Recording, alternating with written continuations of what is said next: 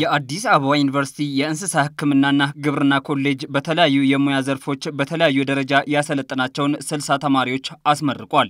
በምርቃት ስነ ስርዓቱ ላይ ንግግር ያደረጉት የኮሌጁ ዲን ረዳት ፕሮፌሰር ሂካ ዋቅቶሌ ኢትዮጵያ በእንስሳ ሀብትና በግብርናው ዘርፍ እምቅ አቅም ቢኖራትም ዘርፉ ከነበረው አነስተኛ ትኩረት እንደ ሀገር ተጠቃሚ ሳትሆን ቀርታለች ብለዋል።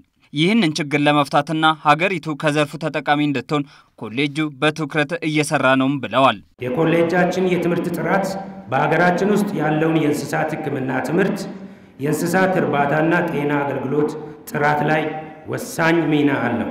የዘርፉን ችግር ፈተን በትክክለኛው ሀዲድ ላይ እንድንጓዝ ታደርጉ ዘንድ የኮሌጃችንን መምህራን፣ ለምሩቃን፣ ለዘወትር አጋሮቻችን ጥሬን አቀርባለሁ።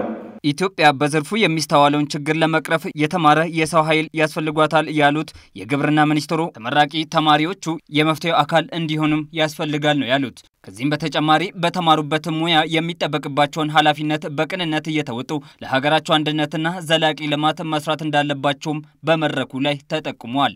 ካላት ከፍተኛ የእንስሳት ሀብት አኳያ ሲታይ ምክንያቶቹ ብዙ ሊሆኑ ይችላሉ።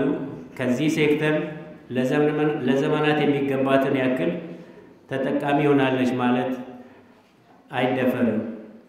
ስለሆነም አሁን ያለውን ችግር ለመቅረፍ ምርምሮቹ እነኚህን ከግምት ያስገቡ እንዲሆኑ እና የሚያመነጯቸው መፍትሄዎች፣ ቴክኖሎጂዎችም ወደ ማህበረሰቡ ወርደው ውጤት የሚያመጡ እንዲሆኑ እንፈልጋለን።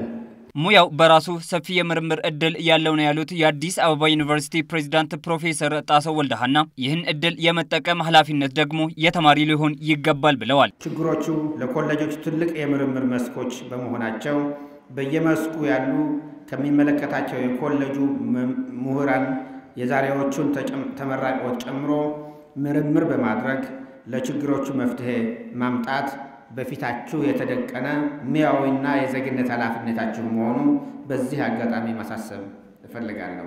ተመራቂ ተማሪዎቹ በሰለጠኑበት ሙያ ሀገራቸውን ለማገልገል ዝግጁ መሆናቸውንም ገልጸዋል።